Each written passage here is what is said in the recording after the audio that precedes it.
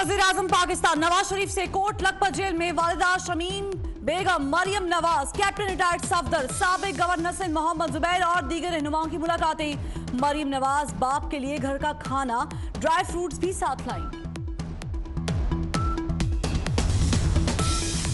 احتساب شفاف ہونا چاہیے۔ نواز شریف پر کک بیک ثابت نہیں ہوئی۔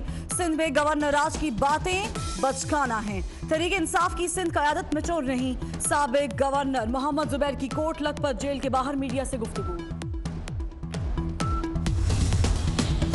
وزیر اعظم عمران خان دو روزہ دورے پر ترکی روانہ، ترک صدر رجب طیب اردوان اور دیگر حکام سے ملاقاتیں کریں گے۔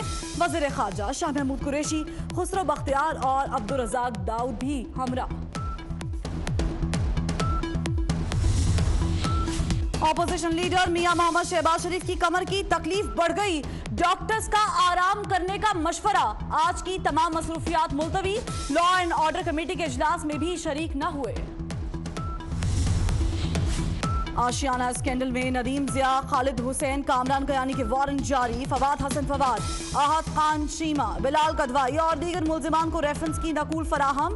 شہباز شریف کو اگلی پیشی پر نقل دی جائے گی۔ لاہور کی احتساب عدالت میں سماعت دس جنوری تک ملتوی۔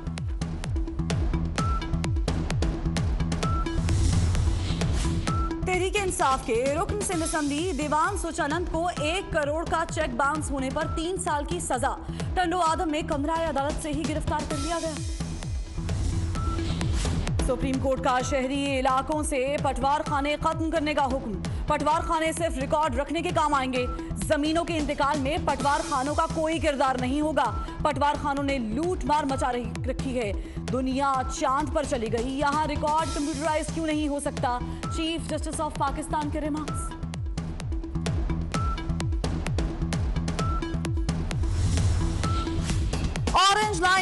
منصوبہ مکمل نہ ہونے سے لاہور کے شہریوں کو تکلیف کا سامنا ہے۔ شہری گاڑیاں گھروں سے باہر کھڑی کرنے پر مجبور۔ گندہ پانی جمع ہونے سے بیماریاں پھیل رہی ہیں۔ میرے جاننے والے تین افراد کو ہیپاٹائٹس ہو گیا۔ منصوبہ جلد مکمل ہونا چاہیے۔ چیف جسٹس آف پاکستان کے ریمارکس۔ پاکستان کے لیے امریکی خارجہ پالیسی میں بڑی تبدیلی۔ دو برسوں سے جاری پاک امریکہ تعلقات پر جمی برف۔ پگلنے لگی۔ امریکی صدر ڈونلڈ ٹرمپ کا کہنا ہے، پاکستان سے اچھے تعلقات چاہتے ہیں۔ نئی پاکستانی قیادت سے جلد ملنے کی خواہش کا اظہار۔ امریکی صدر نے سوویت یونین کے افغانستان میں فوج بھیجنے کا فیصلہ بھی درست مان لیا۔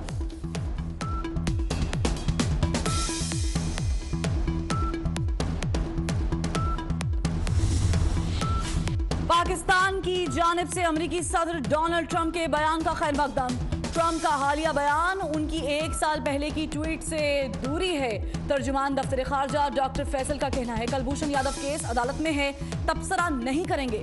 بھارت کشمیر میں قتل عام بند کرے۔ اقوام متحدہ مبصرین کو لائن آف کنٹرول کے علاقوں میں جانے کی اجازت دے۔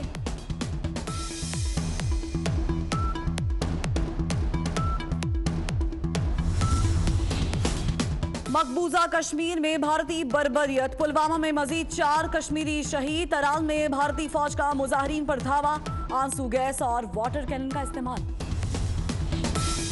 دھم کے باعث کشمور میں گڈو تھرم پاور پلانٹ کے تین یونٹ سٹرپ کر گئے۔ سات سو سینتالیس میگاواٹ بجلی سسٹم سے نکل گئی۔ ملتان مظفر گڑھ سمیت کئی اضلاع کو بجلی کی فراہمی معطل۔